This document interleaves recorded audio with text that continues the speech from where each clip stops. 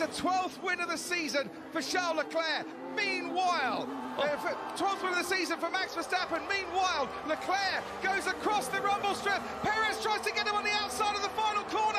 Leclerc comes home to take second.